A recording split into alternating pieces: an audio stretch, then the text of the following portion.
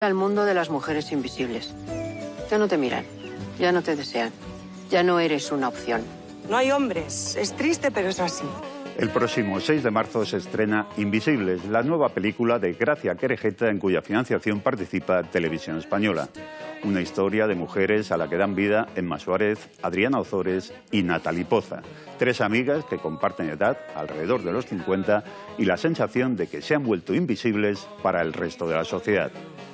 Volvemos el próximo 29 de marzo. Hasta entonces, muchas gracias por su atención. Sean felices. Cuadro.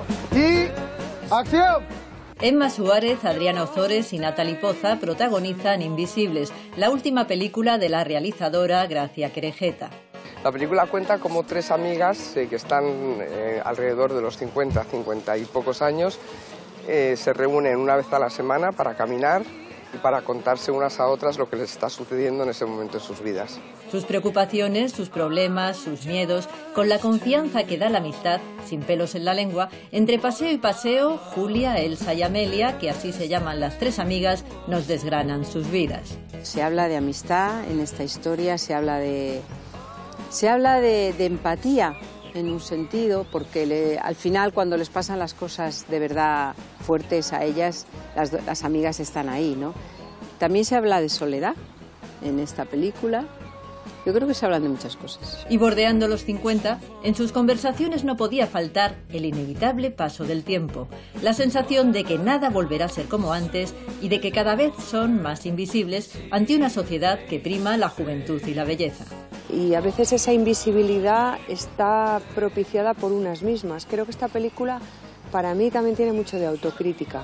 No es solamente poner a la mujer en la invisibilidad como víctima, sino qué pasa cuando nosotras mismas vivimos haciendo que no nos vean. El 99% de la película transcurre en el Parque del Príncipe, en Cáceres. Discrepancias, secretos, mentiras ocultas durante largo tiempo saldrán a la luz en medio de una naturaleza que invita a la confidencia. Son vidas que no son, no son fáciles, y entonces es precioso el contraste con este paraíso que tenéis aquí, con esa, con esa trastienda que todos tenemos, que es el rumie de todo el mundo, que es el que no es fácil. ¿no? Damos una cara, pero aquí es que se habla de la otra parte, ¿no? de la cara B. Pero vamos, yo veo a alguien conocido besándose con alguien y eso no se me ocurre decir, ¡Hola! Blanca Portillo, Fernando Cayo y Pedro Casablan completan el reparto de este drama con mucho sentido del humor. Según su directora y co-guionista, el proyecto más personal y arriesgado de su trayectoria. Lo decía en broma. Sí, qué bromista. Sí, sí.